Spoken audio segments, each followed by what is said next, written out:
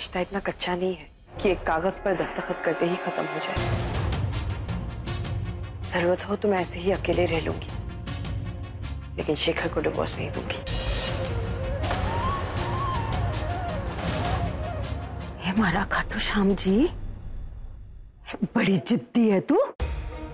बिना तमाशा किए चैन न पड़ेगा थारे को। छोरी, मारी बात भी कान खोल कर सुन ले। तू चाहे कितना भी नाटक कर ले लेकिन मैं और मारा बेटा थारे इस जाल में ना फंसने वाले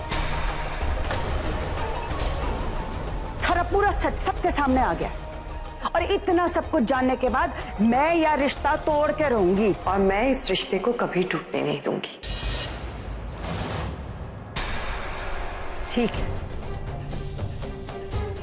थारे को तमाशा करने का बहुत शौक है ना? तो फिर अब मैं करती हूँ तमाशा, मैं दिखाती हूँ और को तमाशा। जब तुम तीनों माँ बेटियों को कीचड़ में घसीटूँगी ना तो फिर हमारे पास कुछ भी बोलने मत आना।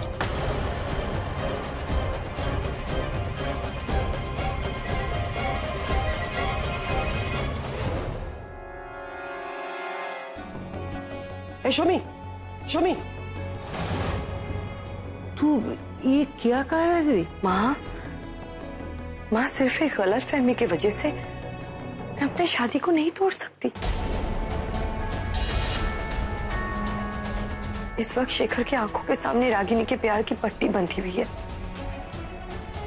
मैं, रागिनी की गलतियों की सजा मैं अपने रिश्ते को नहीं दे सकती, माँ। माँ, शादी एक बहुत ही पवित्र बंधन है। सिर्फ़ एक गलत फहमी की वजह से मैं उसे कैसे तोड़ दूँ? लेकिन बात तब बहुत बिगड़ चुका है। शिखर तुझसे नफरत करता है। नहीं, माँ। माँ, मेरी बेटी उस घर में एक झूठी शादी जी रही है।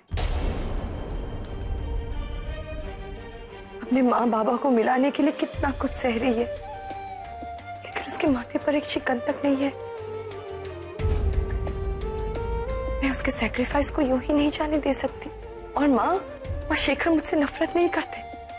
वो तो हालात से मजबूर है। जिस तरह मैं अपनी बेटी को सपोर्ट कर रही हूँ, वो भी वही कर रहे पता है माँ, जिस दिन रागिनी का सच सामने आएगा, वो टूट जाएँगे। और मैं एक पत्नी और एक माँ होने के नाते अपने पति और बेटियों के पिता को? ऐसे टूटने नहीं दे सकती। प्लीज़ माँ प्लीज़ मुझे मत रोको।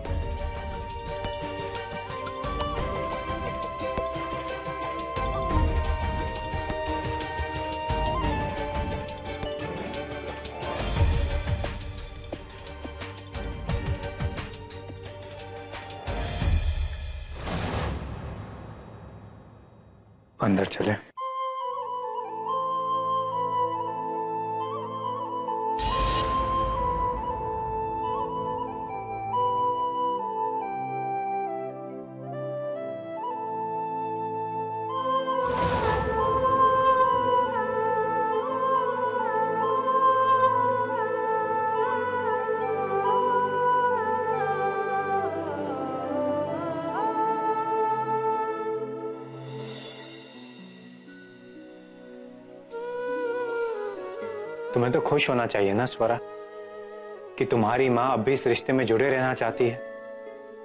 वरना कल जो हुआ था उसके बाद मुझे लगा कि मेरी माँ इतनी जल्दी हार मानने वालों में से नहीं है संस्कार। Exactly. तुम्हारी माँ जो है एंड आई एम श्योर तुम्हें ये जो झांसी की रानी के गुण है ना उनसे ही मिले।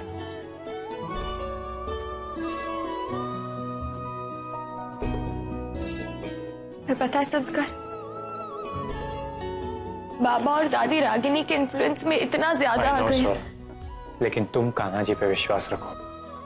तुम देखना कोई ना कोई रास्ता ज़रूर निकलेगा। हाँ। अब जब मेरी माँ भी मेरे साथ है तो मुझे कोई नहीं हरा सकता। और मैडम मेरे पास सीरियसली इसकी शॉर्टेज होती जा रही है। मेरे सारे रुमाल तुम्हारे आँसू पहुँचने में ही जा रहे हैं। तुम ही खरीद के लेना मुझे ठीक है?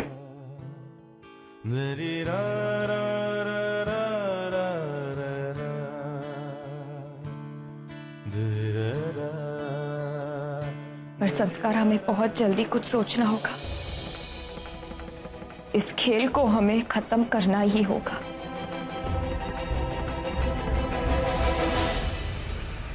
परिणीता? गुड मॉर्निंग आदर्श भैया। Good morning Ragini. परिणीता मेरा नाश्ता? जी।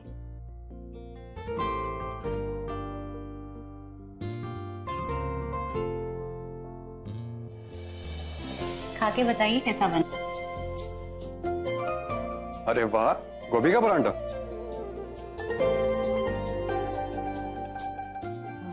आदर्श आज शाम को कहीं बाहर चले? आ, नहीं परिणीता आज नहीं हो पाएगा। बहुत काम है ऑफ़िस में है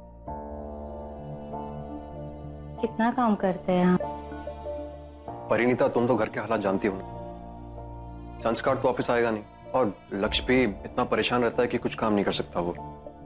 और ऐसे हालात में पापा भी परेशान रहते हैं। सारा काम चाचा को और मुझे संभालना पड़ रहा है। हाँ हम समझ सकते हैं। ठीक है। अच्छा मेरी आज रात को मीटिंग है मैं खाना खाकर आऊँगा। मेरा इंतज़ार मत करना। हुँ? परांठे बहुत अच्छे बने। नाश्ता लगा दो मेरी तो खुशबू से भूख बढ़े जा रही है।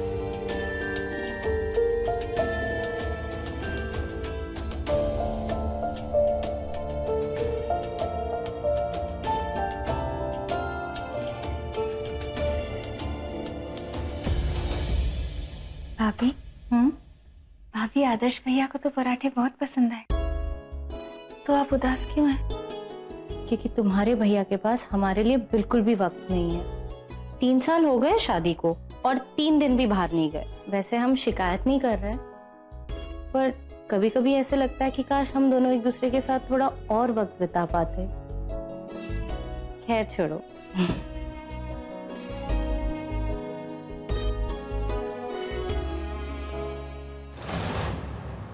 अरे, वकील साहब, आपके लिए तो बाएँ हाथ का खेल है या? देखो किसी भी हाल में या रिश्ता तोड़ना ही होगा, बस।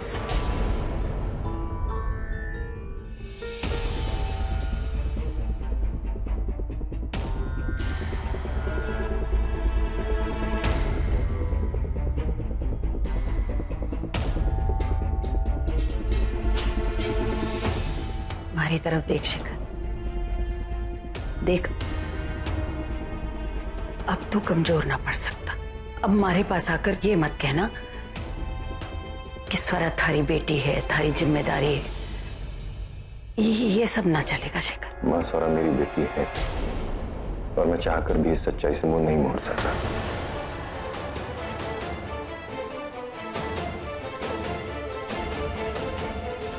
मगर अपनी ज़िंदगी में जो इन्हें शामिल करके मैंने गलती की है गलती में दोबारा नहीं करूँगा।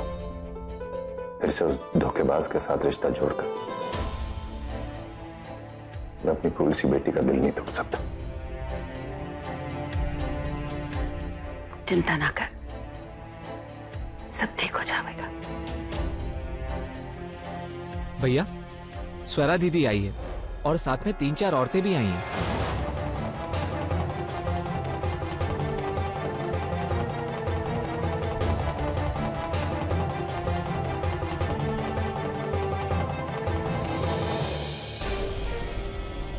लोग महिला समिति से आए।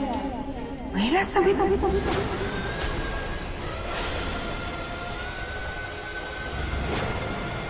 जी हाँ मैं वही कर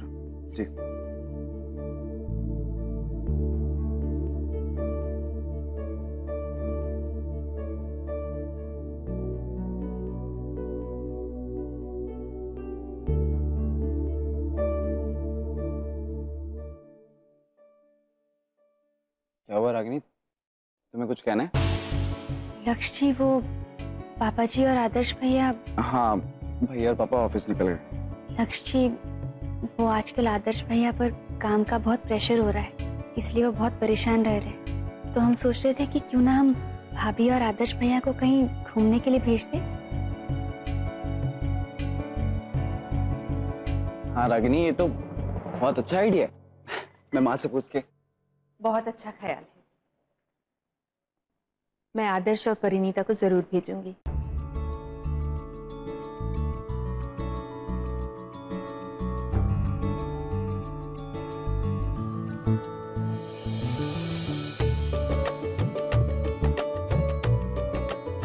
मैं सोच रही थी लक्ष्य कि तुम और रागिनी भी इनके साथ घुमाओ।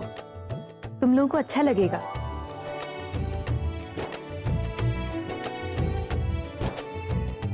और डरने की कोई बात नहीं है, मैं तुम्हारे पापा से बात कर लूँगी, ठीक है?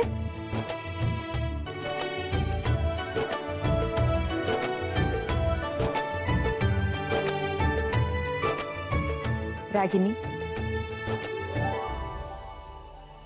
जब तुम सबकी खुशियों के बारे में इतना सोचती हो तो हमारा भी तो फ़र्ज़ बनता है ना, कि हम भी तुम्हारी खुशियों के बारे में सोचें?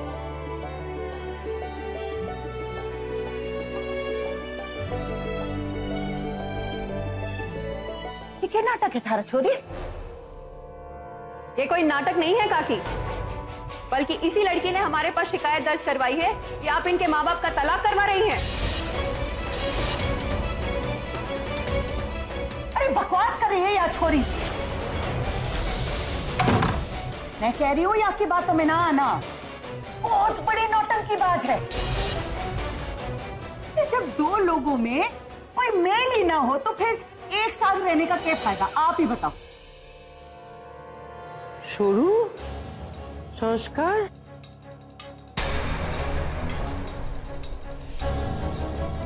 अरे बे- शुरू संस्कार? क्या?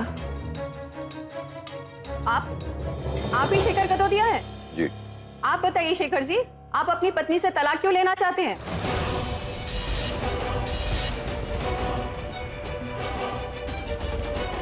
आखिर ऐसी क्या प्रॉब्लम है? कि आप अपनी पत्नी के साथ नहीं रहना चाहते हो? ये है वजह।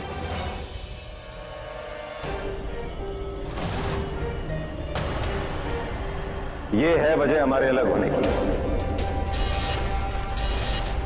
आज तक इसने हमसे सिर्फ़ झूठ बोला है। इसकी वजह से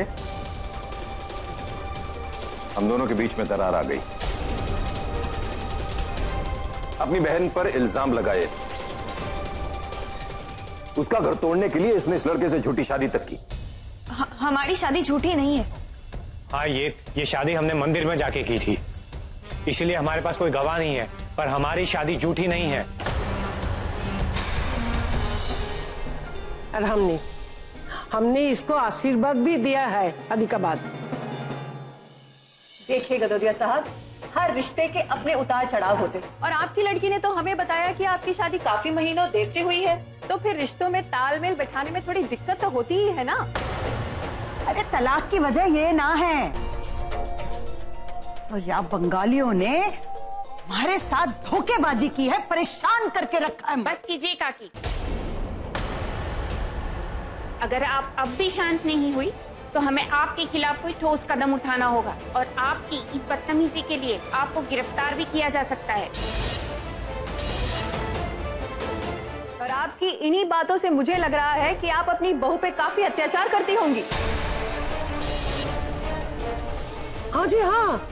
ये औरत ना हमारा बेटी से बहुत नफरत करता है। ये क्या हो रहा है शर्मिष्ठा? कब नुकसान पहुँचाने की कोशिश की तुम्हें?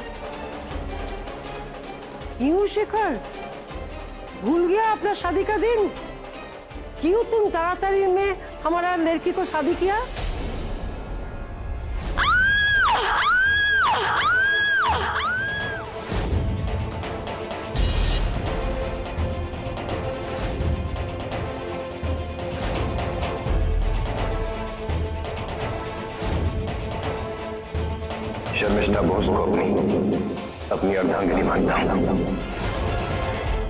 आपको डरने की बिल्कुल ज़रूरत नहीं। आप बस हमें एक चिट्ठी में अपनी सास द्वारा किए हुए सारे अत्याचारों के बारे में लिख दीजिए। फिर हम देख लेंगे इनसे कैसे निपटना है। और तुम भी अपनी दादी के खिलाफ शिकायत दर्ज कर सकती हो।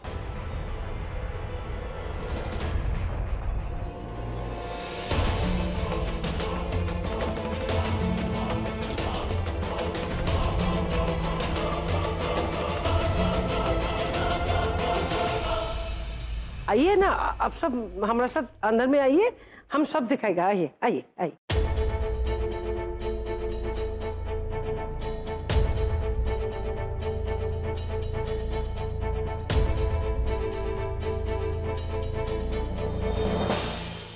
नहीं सुना। ये गलत है। मैं शेखर को तलाक नहीं देना चाहती, पर मैं इस तरह उसके साथ नहीं रहना चाहती हूँ। माँ मेरे पास और कोई ऑप्शन नहीं था। अगर मैं इन्हें इन्वॉल्व नहीं करती तो दादी इस बात को कोर्ट तक लेकर चली जाती। और फिर दिक्कतें और बढ़ जाती। पर शोना ये सब करने से तुझे फिर से अपनी शादी का झूठ बोलना पड़ेगा। आंटी हमें सच और झूठ से कोई फ़र्क नहीं पड़ता। हम सिर्फ़ इतना चाहते हैं कि आप वापस अंकल के पास चले जाओ और वहाँ रहकर धीरे धीरे हालात को सुधारने की कोशिश। संस्कार ज़बरदस्ती जुड़े हुए रिश्ते ज़्यादा दिन नहीं टिकते बेटा।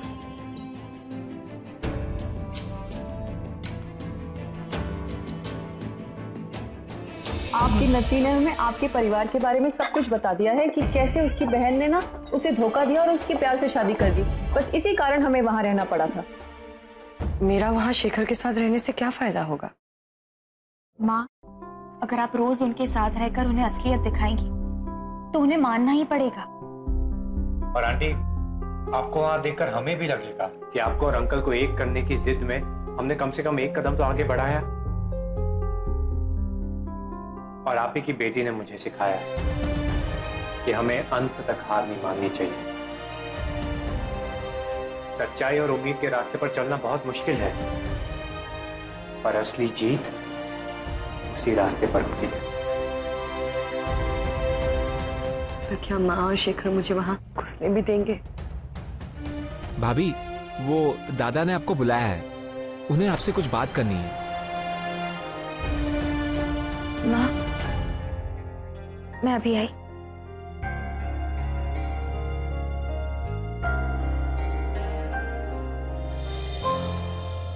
यार भाई मैं और परिणीता ट्रिप पर नहीं आ पाएँगे। नहीं नहीं भैया पर मैंने बुकिंग्स वगैरह सब कर दी हैं।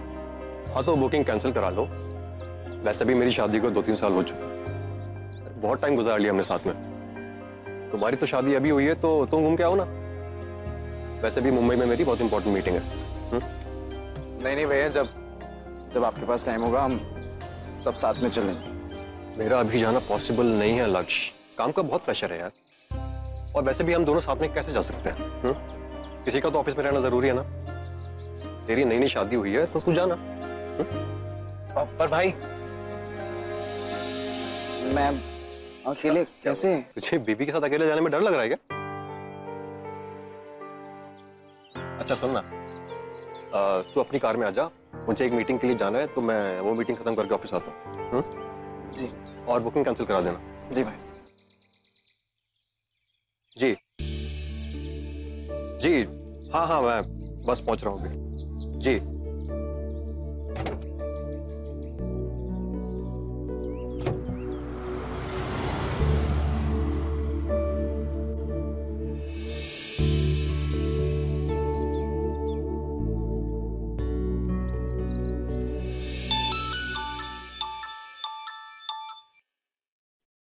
हाँ लक्ष्य hello Ragini.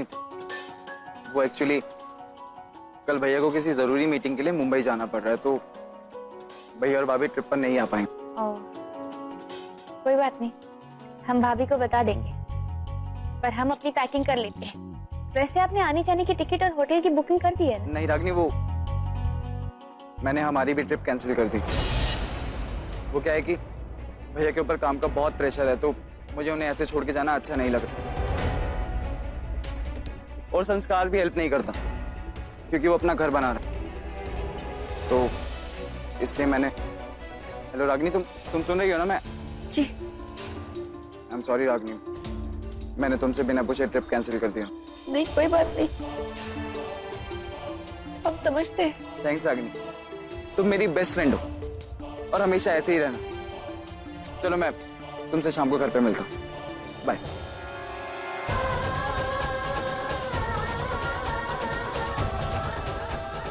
best friend best friend तेरे बेस्ट फ्रेंड के आगे तो कुछ दिखता ही नहीं।